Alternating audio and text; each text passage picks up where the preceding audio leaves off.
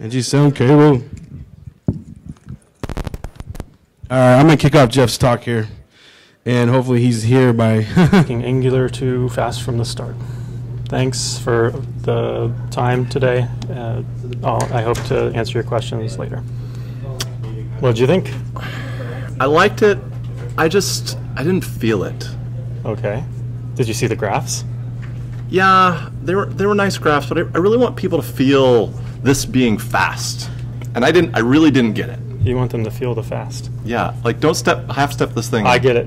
Okay. I know exactly All right. what you mean. I trust you, Jeff. Oh, they're going to feel it tomorrow. Okay. They're going to see it. Make us proud. All right. Make us proud. Thanks, Brad.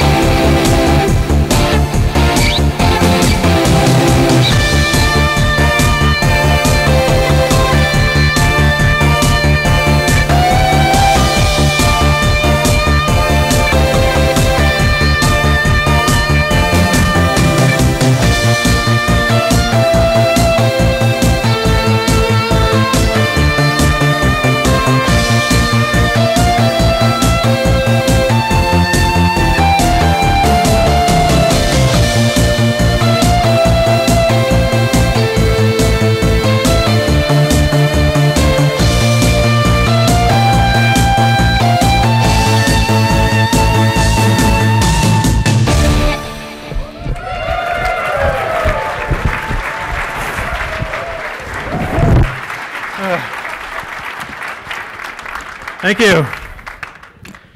Uh, let me get this going here. Yeah, thank you. Can you feel it? You felt it.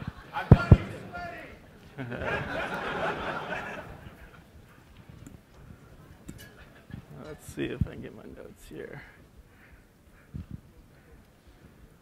Look at my notes. Hello, I made it just in time. Uh, uh, first, uh, thanks for the help with the video. Alex Eagle on our team uh, was a big help there. Uh, also, I think it's pretty cool that my manager would co-star in my video and also do some camera work for me. Um, uh, so I'm Jeff from the Angular team at Google. I'm here to talk about web application performance and specifically how to measure it. and I'm talking about a tool we've been working on called BenchPress. Um, and you probably think, oh, that's Jeff. He's the funniest guy in the Angular team. This talk is going to be funny, but actually, uh, performance is serious. In fact, it's dead serious. Um, so if you want jokes, you'll have to wait for this guy's talk tomorrow, uh, my towel boy. Um, but, but let's get back on track. Uh, so speed, responsiveness, and uh, smoothness are big parts of what make a good user experience when using an application. Uh, so as a framework, uh, Angular, it's pretty important that the framework is as fast as possible and that it's helping developers make apps as fast as possible too. Uh, so we're using BenchPress to make Angular 2 measurably fast from the start, uh, as, it, as the title suggests. Uh, and when I say fast from the start, I mean two things. Uh, one is that we're approaching it with a performance-first design. Uh, so at the beginning of the framework, performance is one of the biggest goals. And also, applications are fast by default. Uh, you shouldn't have to think too much about how your application is architected to optimize it for performance. Um, so before I dive into BenchPress, I want to show some background on performance of Angular 1. Uh, so Angular, as is demonstrated by everyone here, is a pretty popular framework. It's grown a lot over the past few years. Um, and people like it for a lot of reasons. It's got good testability, it separates concerns well, it uh, provides data binding. Uh, but as more and more people used it, some common use cases started to emerge where performance was an issue. Um, and developers would need to understand Angular pretty well to know how to avoid these issues. They'd have to know how to minimize digests, how to minimize the number of watchers in a view.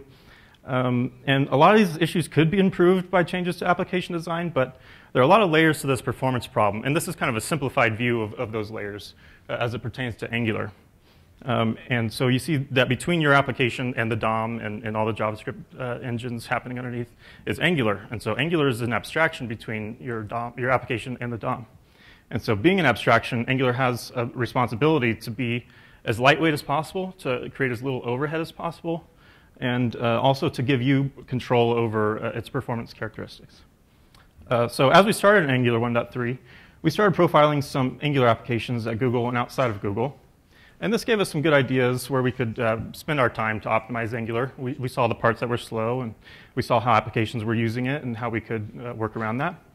Um, but we wanted a simpler approach to performance measurement that would give us the same kind of instant validation that we get with unit tests. So Chrome Pro Profiler is good for analyzing, but we wanted something that would help us measure.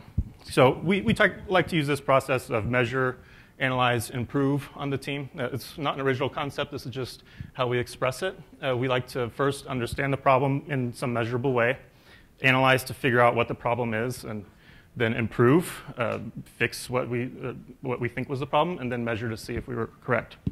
Uh, but we lack the tools for the measure part. And there are tools that provide JavaScript performance measurement like Benchmark.js, which is what is used on jsperf.com, which many of you have used.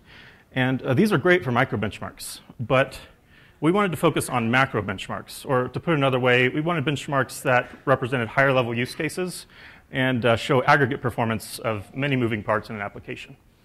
Uh, we wanted this because micro benchmarks still assume that the small part you're benchmarking is the right part to be looking at. And uh, macro benchmarks help verify if there's actual user perceivable improvement to your underlying code. Um, and uh, the last part about micro benchmarks is even if you make this one piece of code 10 times faster, you don't know if it has some side effect that could actually uh, create a, a 50% worse use case or, or, user experience. So we decided to build a tool called BenchPress. Yeah. And uh, so what BenchPress would do uh, would allow us to write macro benchmarks as isolated, fully functioning applications. Um, this would give us uh, close to real world use cases that we could verify um, the performance improvement will be something that users will actually feel. Um, each benchmark would provide different ways uh, to um, uh, test varying operations and conditions.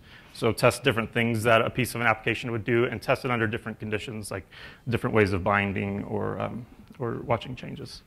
Uh, so for each operation, we wanted to collect the execution time, as well as the allocated memory, uh, the uh, garbage size, and how much time it took to garbage collect uh, after the operation. And we should be able to get uh, some hint as to how reliable and admissible the, the data we collect from the runner is. So if we can confidently say, okay, we've run this, the data looks stable, we're going to say that, that this, for this commit, this is the, the result, and we can compare it to before and have some level of confidence with that. And so as we started writing BenchPress, we uh, started writing benchmarks for Angular 1.3 as we were building it.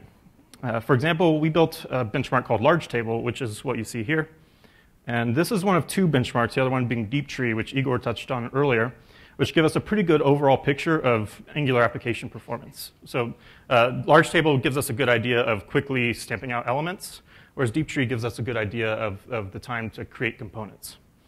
Um, so what this does is this benchmark creates a table with many rows and columns and bindings in each cell. And we test it with varying binding strategies, as you can see by the radio buttons here. Um, and then we can see how fast the, the table is created and destroyed using these different binding strategies.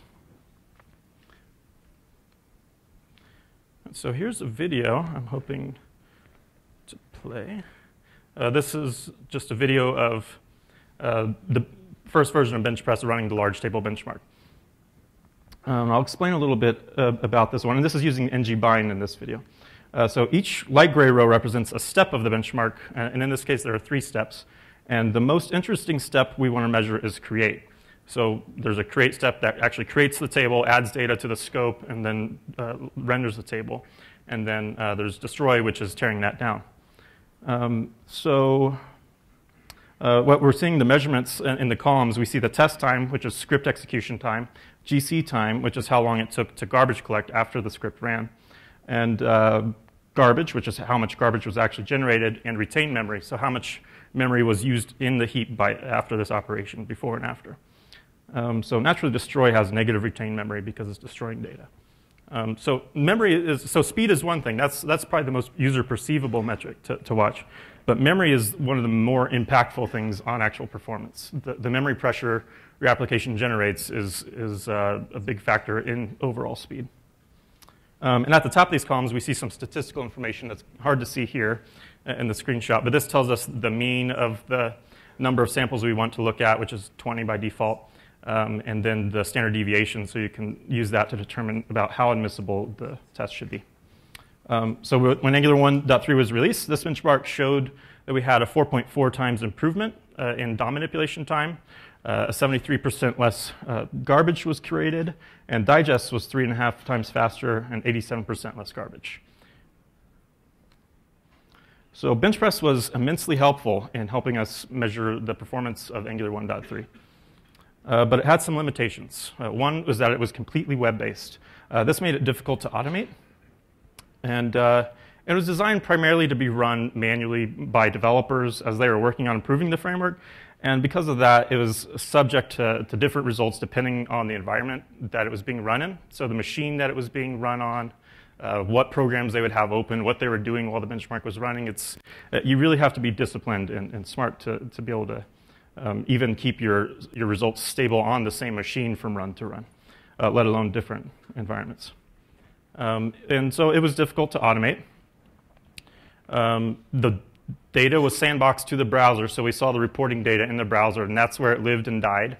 Uh, when the browser would go away, the, the data's gone unless you copy it and paste it into a spreadsheet. Uh, so that doesn't, doesn't make it very actionable unless you're really disciplined about that and comparing the data between uh, versions of your framework. Um, and there's limited browser support. Really, Chrome Canary was the only uh, browser that we could give the flags to that we needed to get that, that memory data. Uh, other browsers, you, you, just can't get that from inside the browser. Um, and also the, the manual garbage collection that we do to, to calculate how much garbage was generated and how much garbage collection time took. Uh, we couldn't do that in very many browsers. So we released 1.3 and started spending more time building Angular 2. And since mobile performance is a big focus of Angular 2, we needed to be able to measure performance in mobile browsers. Um, so Tobias did some research and uh, designed a new BenchPress. And this was based on collecting performance data from WebDriver in ways that could work with more browsers, particularly mobile browsers. And if you're not familiar with WebDriver, it's the same. Uh, it's the protocol used by Protractor and, and other end-to-end testing tools.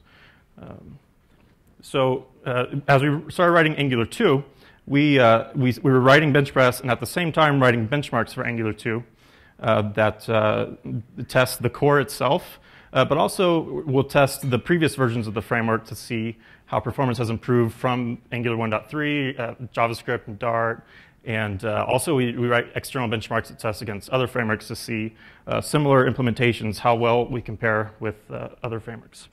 Um, so we have the large table benchmark, the deep tree, uh, and there's a new benchmark for infinite scrolling that measures how, how uh, performance uh, holds up as you're scrolling through an infinite scrolling list. And we have some more module-specific benchmarks that are more like micro benchmarks for the compiler, dependency injection, element injector, and change detection. Um, so something different in the Angular 2 setup is that we have a suite of Jasmine tests that run the benchmarks instead of running in the browser. Uh, and we use tests to describe the conditions under which we want to run the benchmark. And we run these benchmarks locally when adding or changing Angular to verify that performance is remaining stable or improving with each commit. Um, and we're using a library called perfutil here. Um, but uh, uh, really all that's happening here is, uh, is uh, we are uh, telling Uh, bench we're, we're telling it to click these two buttons, measure what happens as those are clicked, and then we and then we're passing a value of nine to tell the tree how deep it should go, how many levels deep it should render. And for now, now we have the BenchPress logs. This is an example of the new BenchPress. Uh, it, uh, it, it, just logs the data as it tests the different variables of the benchmark to the console. And uh, we can see the results after each sample, after it's done being collected. Um, and in addition, in addition to running locally, we have a CI setup that runs all benchmarks on mobile hardware for each commit to Angular Angular. And we started with a simple setup of a Nexus tablet plugged into a Mac Mini that you see here. Uh, this is in our office. Uh, but we're getting a little bit more sophisticated. Uh, we're, we're, setting up our, our, benchmarks in a calibrated environment to produce more stable results. And we use dedicated hardware, performance-tuned operating system, and uh, remove as many external factors as possible that could affect the sample so we can have some more confidence. And you can see here the, the view we use that it provides some more ways of drilling down into data. Um, okay, yawn, so what's in it for me? I've got a minute left because of that long video. Um, so what is in, in, it for you? You'll get a faster framework for one. I think that's a pretty big win for everybody. Um, but you can actually use it in your own projects. And uh, I've made a simple uh, GitHub project that I'll link to at the end here that you could clone and see uh, that implements the deep tree baseline benchmark from the Angular 2 repository. And uh, this, uh, this benchmark is a baseline that doesn't actually have a dependency on any framework and just shows you how to use BenchPress. Uh, I'll walk through how it's set up in the time I have left. Um, it's really just an application in the public folder, a protractor config, and a spec. Um, and this is what the, tree, the benchmark looks like. It just recursively renders tree nodes. It has a form where you can change the depth of the tree um, and the buttons you click to measure it. And you could actually run this in your browser and profile it too and see the same things that BenchPress sees. And here's the spec. Uh, I won't go into how we, we set up the runner, but it's well commented in the project. Um, and we see we're just navigating with Protractor to open the page and then uh, clicking the buttons manually with the Protractor selector. And then uh, here's the code for the spec. And also, this is pretty well documented in the repository, so I won't go into it now. Uh, and here's the Protractor config, which sets up a server. It uh, creates a new browser for each spec you're running. And uh, here's some best practices that are also in the slide. I'll keep talking until they kick me off stage. But um, so uh, some best practices, uh, wait until a component is functional before you try to test it. Uh, it's hard to test something that doesn't work yet. About the same time as you would write an end-to-end test is a good time to write a benchmark. Um, run benchmarks consecutively, consecutively in the same environment uh, if you want stable results or confident results. Focus on the hottest components of your app first.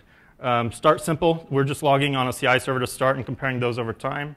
Uh, calibrate your environment as much as possible. Step away as you're running the benchmark. Close as many programs as possible um, and maybe run it a few times in cold started browsers to make sure that you're getting real results, and use things like Google Analytics and other tools to get more real world statistics. statistics.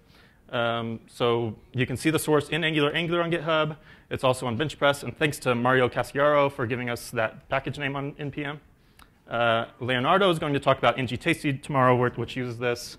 Uh, try it. Uh, see the links at the end of the slides. Um, these will be shared right after here to some place that Aaron Frost knows about. Um, I hope you try it and let me know what you think. Uh, I'd be happy to help you set up a benchmark for your app if you catch me during the conference. So, thank you.